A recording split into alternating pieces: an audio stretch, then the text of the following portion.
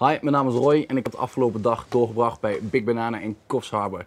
Eh, Big Banana is een onderdeel van een hele grote organisatie in Australië. Uh, variërende van verschillende grote fruittypes. In dit geval waren we dus bij Big Banana.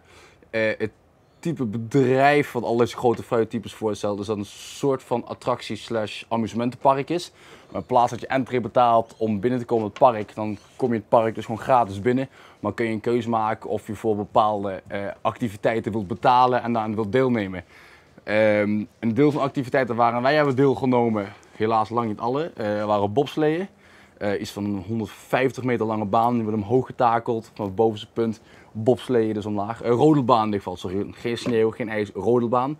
En dan rol je dus omlaag. Uh, we zijn naar een skihal geweest, die zijn ze momenteel nog aan het ontwikkelen.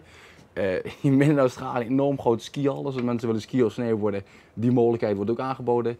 Je kunt de paintballen, je kunt de laserkwesten, ehm, is mij verteld. Uh, ze hebben een ijsbaan, dus we hebben ook even mogen schaatsen. Niet de grootste ijsbaan van Australië, maar wel groot genoeg zo, om, zodat er wedstrijden opgespeeld kunnen worden. Dus kom je een ijsbaan binnen, worden schaatsen ook gewoon uh, aangeboden. daarnaast zijn we naar het waterpark geweest. Het waterpark is een heel goed terrein, vol met luchtkussens, springkussens, glijbanen, alles erop en eraan. Voor hele kleine kinderen tot aan nou, grote kinderen zoals ik. waterpark, luchtkussens ik heb in ieder geval een super tijd gehad.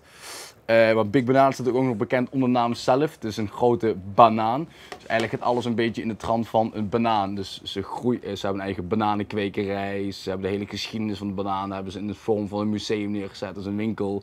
Maar het lekkerste, het mooiste ze ook nog eens aanbieden is ah, goedkope bananen. En alles om je banaan uh, lekker mee aan te kleden. Dus op het eind zijn we gewoon de restauranten gegaan. Hebben heerlijk gegeten. En uiteindelijk met een toetje hebben we afgesloten als een bevroren banaan gedoopte chocolade, sprinkels eroverheen en uh, daarmee lekker warme chocolademelk gedronken.